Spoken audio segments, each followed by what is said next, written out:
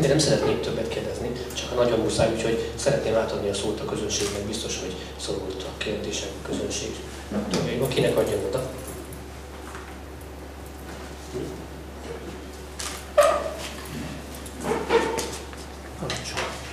Gyere között,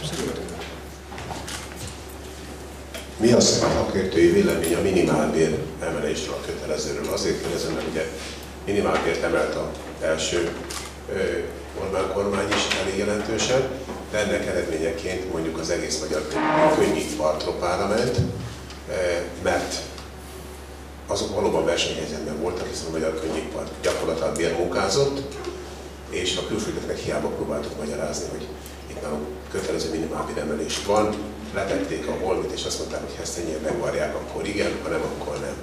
Jó-e? Kell-e? Mert ugye most is az van, hogy kötelező béremelés van, függen attól, hogy, hogy a gazdaság mögötte milyen állapotban.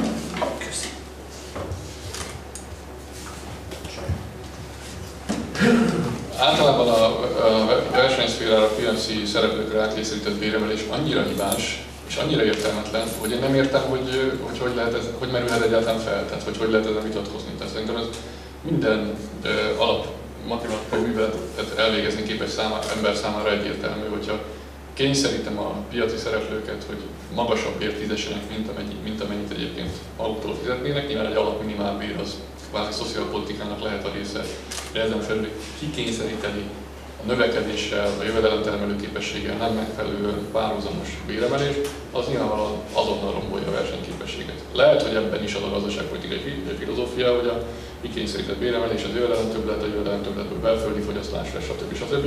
De éppen a 2000-es évek elejé 50%-os minimál béremelés bizonyította be, hogy abból nem több munkahely lesz, és nem több jövedelem, hanem megszűnő munkahelyek és, és növekvő munkanélküliség. Tehát nyilvánvaló, hogy egy olyan kis nyitott gazdaságban, mint ami Magyarország, ahol minden egyes vállalkozás nemzetközi versenytársakkal kell, hogy küzdjön, a könnyűiparban különösen, de bárhol máshol, még a turizmusban is, meg mindenhol máshol. Tehát nincs, azt mondom, hogy nincs olyan vállalkozás Magyarországon, aki megengedhetné magának egy világpiaci viszonyoktól független költség gazdálkodást folytasson. Egy ilyen országban nem lehet e, ilyen módon durván beavatkozni a piaci viszonyokba, és, és ilyen szempontból tökéletesen értelmetlen a mostani minimálbéremelés is, bár nem olyan arányú, mint a 2000-es évek elején volt, de, de most viszont olyan piacgazdasági környezet van, olyan kiélezett verseny, hogy most egy kisebb arányú minimálbéremeléssel is, is ugyanolyan károkat lehet okozni, ráadásul most ugye nem csak a minimálbér sávjában teszik kvázi kötelezővé, vagy próbálják kikényszeríteni a kormány a béremelést, hanem szinte az átlagbérig, ugye az adójogvárás kivezetésének a kompenzálásával a magasabb bérsávokban is és béremelést próbál kikényszeríteni. Most az a helyzet, hogy miközben elvileg foglalkoztatás parást, politikát hirdetett meg a kormány, valójában a, a 2010-es utolsó adóváltozás után, amikor még az átlagbérsájában is úgy, az úgynevezett adóik az jelentősen lecsökkent, ezt mindjárt magyarázom nincs, de az lett az eredmény, hogy az Európai Unióban jóval kedvezőbbé vált a foglalkoztatásunk, és jelentősen nőttek a vállalkozások által viselendő munkaerőköltségek azóta ez a tendencia visszafordult, nem csak minimálbérsávjában, de még az átlag bérsávjában is kismértékben emelkedik az úgynevezett adóég. Ez azt jelenti, hogy a kormány vagy az állam többet von el, és ezáltal ugyanannak az embernek ugyanolyan foglalkoztatási költségek mellett vagy ne kevesebb nettó fizetés jut, vagy ha ugyanannyi nettót akarok neki jutatni, akkor többet kell fizetni azért, hogy az állam többet vonasson el. Ez nyilvánvalóan nem segíti a versenyképességet. Úgyhogy ennél komplexebben nem tudok válaszolni kérdés, hogy teljesen egyértelműen értelmetlen az intézkedés. Nem, nem értem, nem látom be, hogy milyen filozófia lehet mögötte. Egyéb más kérdések? Nem kell hagyni. Akkor jó hangosan. Miután a halott, a voltak bocsánásán túl vagyunk, tehát miért rossz a dolog, akkor azt kellene, Mit kéne csinálni? arra kell nézni, hogy mi lesz, ugye? Tehát úgy képzeljük el a mostani kurzust, hogy egy egy 150 magunkból álló szerelvény meg 200 előbb a masinista, a család, a, a hívők, a rabot vagy, mögött egy 80 magot kerekülben a választókkal, tehát az ő választókkal, megy a szakadék felé. Akkor, és néha van egy, sorokóriák, mag kell kiabálni, jobban valahol, emberek, emberek, és lefelé. Akkor hogy lehet elhassítani, vagy hogy most hogy írnak? Ez a magyar politikai rendszert, ha Kérdés is, hogy milyen hatásfokkal és milyen beavatkozási képességekkel, de azért négy évente továbbra is a választók irányítják. Hogy milyen lesz a választói öntudatosság, és mit fog reagálni a, ennek a kurzusnak a eredményeire, vagy az eredmények hiányára, ez egy, ez egy izgalmas kérdés. Nem olyan régen beszélgettem egy újságíró, aki aztán azt mondta, hogy inkább nem ö, ö, rakja bele az interjúba ezt a félmondatomat, amit mondtam, de aztán lehet, hogy egyszer majd valaki berakja, illetve lehet, hogy most is megjelenik majd egy internetes újságon, hogy én azt gondolom, hogy 2014 az, egy, az egyfajta ilyen érettségi próba lesz a társadalomnak, hogy hogyan reagál erre a kurzusra, mennyire hisz el átlátszó kommunikációs ö, taktikákat, mennyire lehet hatást gyakorolni rá azzal, hogy a média nyilvánosságnak sajnos a jelentős többségét pillanatban a kormány gátlástalanul kontrollálja és irányítja, mennyire lát át egyébként viszonylag nyilvánvaló kommunikációs trükköket, és mennyire érzékelő, valójában nincs gazdasági növekedés, hanem, hanem csökkenés van, csak a közfoglalkozás, közfoglalkozás, közfoglalkoztatásnak a segítségével néz ki úgy, mintha nőne a foglalkoztatás, de valójában nem. Romlanak a jövedelemviszonyok, romlanak a munkavégzési feltételek, stb. stb. Tehát az emberek elvileg, hogyha józanul, racionálisan, akár csak saját élményeik alapján akarják megítélni a kormány tevékenységét, akkor nem nagyon látok okot rá, hogy ezt a kurzust ezt meghosszabbítsák. Ettől függetlenül pontosan tudjuk, hogy a választási eredményeket ezen kívül sok minden más befolyásolhatja. Például is, hogy a társadalom úgy általában minek örül, mit szeret, mire kíváncsi, mire van vevőkészsége. Úgyhogy összességében 14-ben azt gondolom, hogy, hogy bármi is lesz egy választás vége, az mindannyiunk számára érdekes tanulságul fog szolgálni, és egy meglehetősen fontos mérőtesztje, mérőpontja lesz a magyar társadalom érettségének és civilizációs igényeinek. Amíg a választók nem nyilvánítják ki egyértelműen azt a szándékukat, vagy azt a véleményüket, hogy ez a kurzus nem jó úgy, ahogy van, addig azt a szomorú dolgot kell mondanom, hogy nem rendelkezünk különösebben sok eszközzel. Tehát maximum le lehet ugrani a szerelvényről, ugye azt hiszem talán ma vagy tegnap jelent meg a tárkinek az a kutatási eredménye, ami ugye jelzi a statisztikákat, hogy hányan gondolják úgy az aktív lakosságból, hogy inkább más országban folytatják a jövedelemtermelő tevékenységüket, és ez igen szomorúan, de radikálisan növekvő szám. És ez mindannyiunk számára azt gondolom, hogy ijesztő jelzés. De a legtöbb előadáson ezt egyébként különösen fiatalok meg szokták tőlem kérdezni, hogy, hogy mondjak érvet, hogy miért nem menjenek külföldre. Ezt a kérdést utálom a legjobban egyébként. De két dolgot szoktam mondani. Egyrészt azért sok más országban sem jobb most, mint Magyarországon. Tehát nem olyan könnyű olyan külföldi országot választani, ahol tártkaroggal fogadják az embert, és még jobb, minden tekintetben jobbak is a körülmények. A másik pedig, hogy azért nem, mert ahhoz, hogy itt megváltozzanak a dolgok és jó irányba forduljanak a dolgok, ahhoz itthon kell maradni, és itt kell változtatni a dolgokon. Tehát én inkább annak a hívő vagyok, hogy nem a szerelvényről kell leugrálni egyenként, hanem, hanem valamilyen módon közösen fordítani helyes irányba.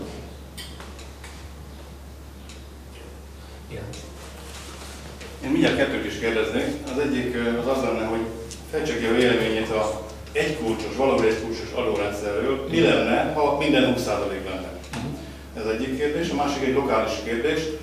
Mi a véleménye arról, mennyire életképes a vizernek, mint légitárságnak az a debreceni elképzelés, hogy ezt bázist alakít és a többi. Mi van ennek kifutása egyáltalán, mit gondol erről? Ezzel együtt az úr még szerintem lehet, hogy reagálni akart, vagy akart valamit mondani. Igen, igen. Ha nem mond, akkor még meghallgatom. Tudod, hogy Szabolyi voltam ki, hogy attól attól mit szeretném mondani, tehát a, a Fidesz szavazókat, vagy 80 vagon, vannak arra a viccek, a SLE, a mozdonyvezetők, meg a, és így megyünk 200-ra. És az a kérdés, nyilvánvalóan, hogy, hogy nem a, a jövőt tegyük, mert az mozdonyvezetőt megváltoztatjuk. Hogy lehet a szakadékot eltűníteni, mit lehet csinálni utána? A mozdony megy tovább, tehát ez a rendszer két harmadára jön tovább, ugye? Akkor győzelem esetén lesz, hogy a... Értem. Válaszolok el az úr kérdésére, és aztán visszatérhetünk erre a témára. Jó, a, az egykulcsos adónak az a fajta, amit egyébként a szlovákok is használnak, ugye 19% minden áfa, társasági adó, SZIA. Az azt gondolom, hogy nagyobb részt marketingeszköz, de hatásos marketingeszköz, mert nem az befolyásolja egy adórendszernek a érdemi hatékonyságát, hogy most az áfának meg a társasági adónak ugyanannyi a kulcsa, az egyszerűsíti a rendszert, és jól lehet hirdetni mondjuk befektetőknek, jól lehet hirdetni vállalkozóknak, hogy olyan egyszerű rendszer, hogy egy adókulcsot kell megjegyezned. De tényleg nem azon múlik a dolog, hogy most az áfa 22% a társaság 19, hanem, hanem azon, hogy a rendszer egyszerűsége mellett egyébként mit támogat, és mi az, amit, mi az, amit kvázi büntet adóztatással. De egy adó kapcsán én azért vagyok furcsa vagy kényelmetlen helyzetben, mert én egyébként alapvetően szakértőként sokszor elmondtam, hogy az egy kulcsos adónak számos pozitív vonása van. Tehát, hogyha vállalkozó barát és teljesítményesztőző adórendszert akarunk csinálni, akkor az egykulcsos adó lehet jó. De mostani egykulcsos adóhoz képest ennek két feltétele legyen, lenne. Az egyik, hogy olyan egykulcsos adó legyen, ami nem sújtja büntető adóztatással az alacsonyabb jövedelműeket. Tehát olyan egykulcsos adónak, ami nem csak a tevékenységet ösztönzi, de kvázi szankcionál mindenkit, akinek az alacsonyabb képzettsége, a hátrányosabb helyzete miatt egyszerűen nincs lehetősége magasabb teljesítmény nyújtani, és szükségszerűen az alacsonyabb jövedelemsába keres, annak nincs értelme. Ez tönkreteszi a társadalmi szolidaritást és tönkreteszi a foglalkoztathatóságot is, miközben Magyarországon éppen az alacsony képzettségek körében van igazán komoly foglalkoztatási probléma, nem lehet tönkretenni a foglalkoztatási viszonyokat. A másik, amit amit nem lett volna szabad az egykulcsos adóért sem feláltozni, az pedig a pénzügyi stabilitás, a költségvetési egyensúly. Tehát növekedési időszakban, amikor egyébként a, a, a piacnak, a gazdasági szereplőknek, az adófizetőknek van ö, tartaléka kitermelni azt az adófizetési többletet, amit egy, egy kulcsos adóbevezetés feltételez ahhoz, hogy közben a költségvetési egyensúly ne boruljon fel, be lehet vezetni egy kulcsadót. Vagy be lehet vezetni úgy is, hogyha vannak a kiadási oldalon tartalékok a költségvetésben is, és kiadási, kiadás csökkentésekkel párhuzamosan vezetik be egy kulcsadót. De úgy bevezetni, mint a mostani kormány csinált, hogy kieresztünk 500 milliárdot a költségvetésből, egy évig nem fog feltűnni, mert a magánnyugdíjpénztárak vagyonából ezt befoltozzuk, aztán meg majd akkor a gazdasági növekedés lesz ebből az öt adóból, hogy akkor már úgyis lesz olyan plusz adóbevétel, hogy már nem is lesz a költségvetésen. Ez egy badarság. Hát az, már az előbb elmondottak miatt az egykulcsos adó sem tud olyan gazdasági növekedést csinálni, mint bármilyen más fogyasztási élénkítő intézkedés, egyszerűen amíg nincs versenyképes belső vállalati szektora, és nincs olyan növekedési képessége a magyar gazdaságnak, addig nem lesz ekkora növekedés, és nem fog visszajönni az egykulcsos adóból kiengedett bevétel. Tehát az egykulcsos a legnagyobb hibája ez volt, Szlovákiában az egykulcsos adó bevezetése az siker volt, még akkor is, hogy egyébként bizonyos válságidőszakokban ott is felmerül, hogy vezessünk be progresszív adót, amikor nagy a teher, akkor, akkor a magasabb jövedelmek vállaljanak többet de ott úgy sikerült vezetni egy kulcsos adót, hogy egyrészt az alacsony jövedelemsában továbbra is megvan az adómentesség. A Szlovákiában nem olyan egy kulcsos adó van, mint nálunk. Ott továbbra is egy bizonyos jövedelemhatárig mentesek, adómentesek a jövedelmek. Tehát az alacsony jövedelmek továbbra is plusz kedvezményben részesülnek. Másrészt nem lett luka az egy kulcsos adó miatt a, a, a költségvetésen, mert egyébként sok más reformot végrehajtottak, és már olyan növekedési pályán álltak, hogy amellett megengedhették az egy kulcsos adó. De ha ilyen feltételek lennének, mint Szlovákiában, akkor van haszna az egykulcsos adónak, mert ugye mit csinál az egykulcsos adó? A jövedelem többletből hagy, hagy többet ott az, a, a, a, a keresőknél, az aktív lakosságnál. És ezzel kapcsolatban volt problémája Magyarországnak. Ugye amikor mi kerültünk kormányra, akkor elvégeztünk egy számítást, és bocsánat, tényleg nem akarok sok szakmai részletet mondani, de, de hogy az egykulcsos adó logikáját értsük ezt a, ezt a, ezt a terminus technikuszt azért el akarom mondani. Az úgynevezett marginális adókulcs, az, az azt hiszem 75% körül volt. A marginális adókulcs a következőt mutatja meg, hogyha nekem van mondjuk havi 100 000 forint jövedelmem, és ahhoz képest keresek még valamivel többet, akkor a többletre mennyi adóteher esik. Az nem ugyanannyi, mint az általános adóteher, hiszen ugye a progresszív adótábla mellett a keresett többlet az mindig egy kicsivel többet adódik, és hogyha nagyon meredek a, nagyon meredek a progresszív, akkor nagyon sok el tud jönni, el tud menni a keresett többletből.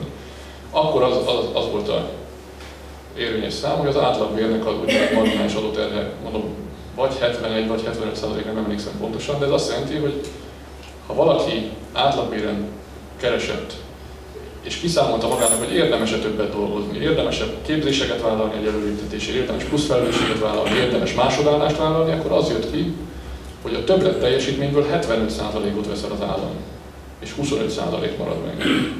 És ugye erre mondjuk azt normális gazdálkodási körülmények között, hogy hát ez megöli a többlet teljesítményt, ez megöli, megöli a hatékonyságot. Itt senki nem akar majd jobban dolgozni, senki nem akar jobban teljesíteni, mert minden plusz teljesítménynek csak a negyede, vagy annyi sem marad nála.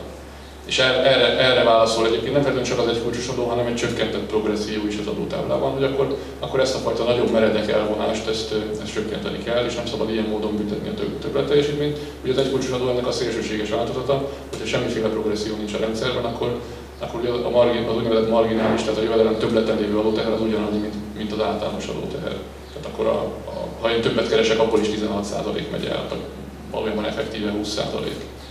Tehát egy kulcsolatúnak van ilyen szempontból értelme, de akkor van értelme, ha nem bünteti a szegényeket, hogy ilyen egyszerűen fogalmazzak, és nem borítja fel a pénzügyi egyensúlyt, és nem kényszeríti utána folyamatos kiigazításra a kormányt, mert valójában most azért van állandóan költségvetési kiigazítás, egy kulcsos adóval sikerült egy nagy lukat ütni a költségvetésen, és azt újra és újra be kell folytozni.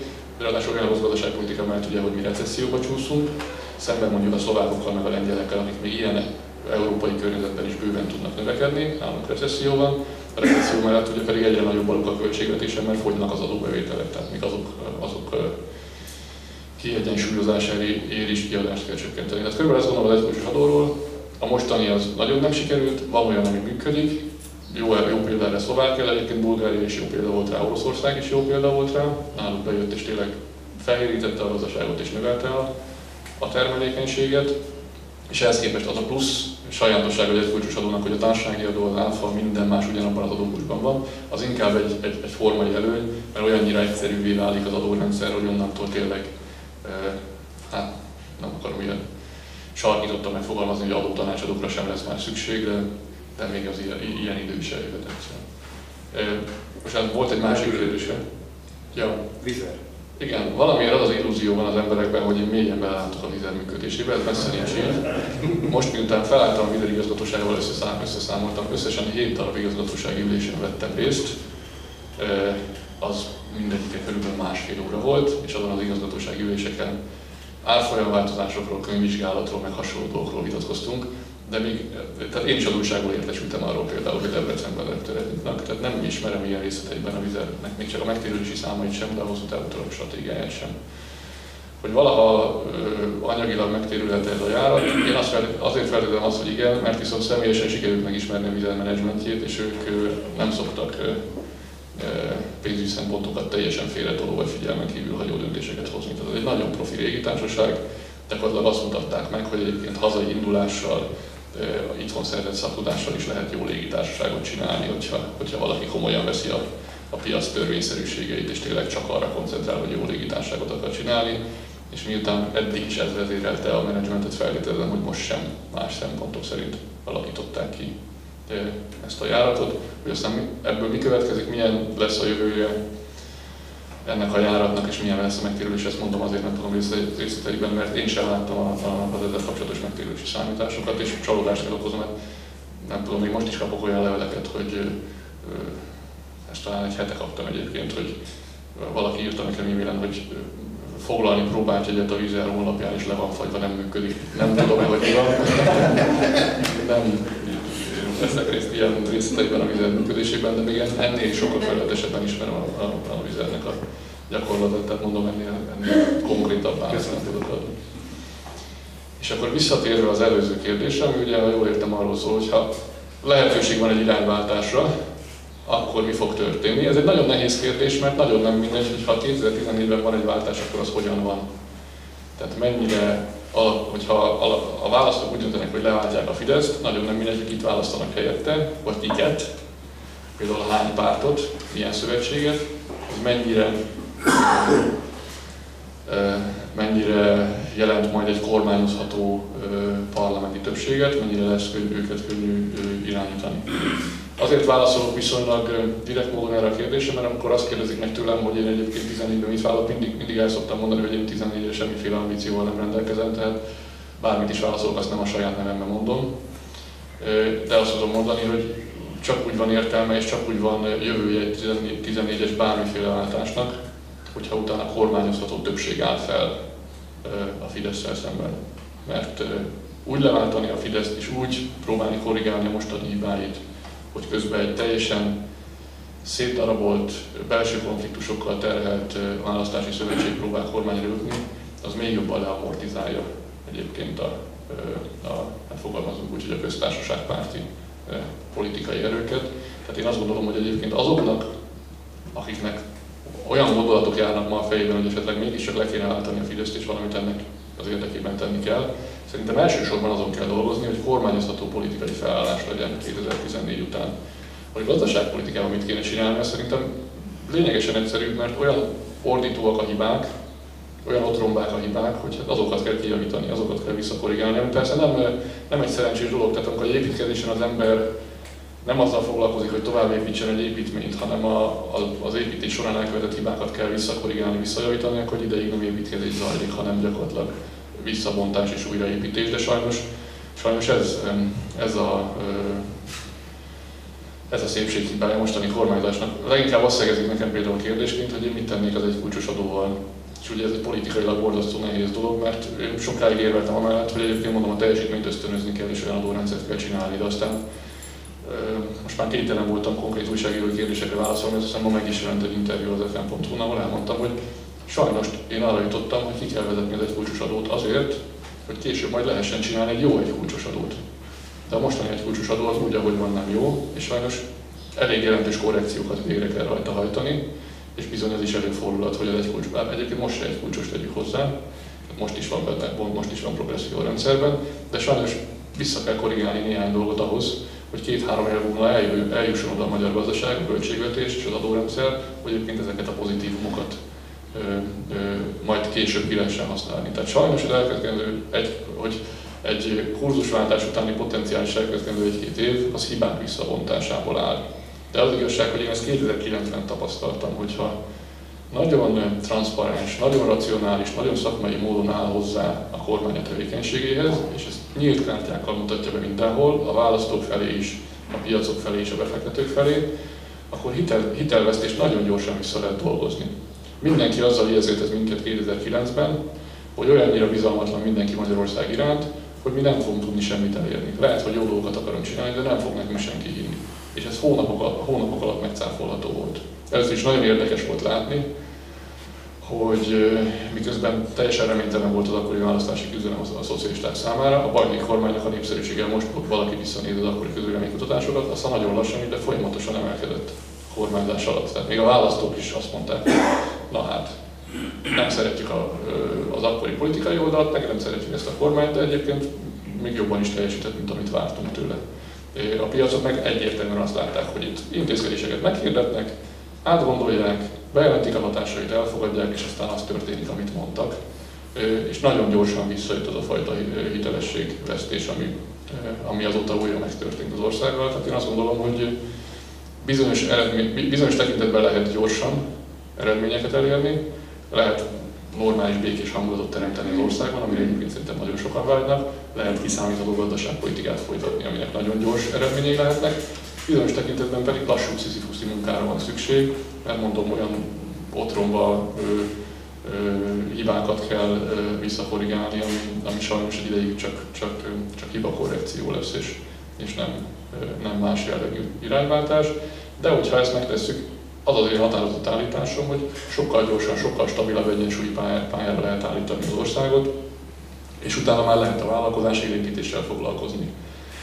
Lehet, foglal, lehet érdemi foglalkoztatásnöveléssel foglalkozni, nem közfoglalkoztatások által feltupírodott statisztikával, hanem azzal, hogy tényleg beruházások által vállalkozók teremtsenek nagyobb számban munkahelyet, stb. stb. Tehát egyébként az az érdekes, hogy a Fidesz kommunikációs szinten a probléma felismerésig eljut. Tehát azokat a témákat célozza meg, amiket meg kell célozni, és amikre nem is lenne olyan bonyolult egy jó receptet felírni, hogy aztán miért és hogyan csúszik el, ez teljesen értelmetlen, és sokszor a felismert problémákat súlyosbító intézkedéscsomagokká, azt nekem is borzasztó nehéz megérteni és megmagyarázni.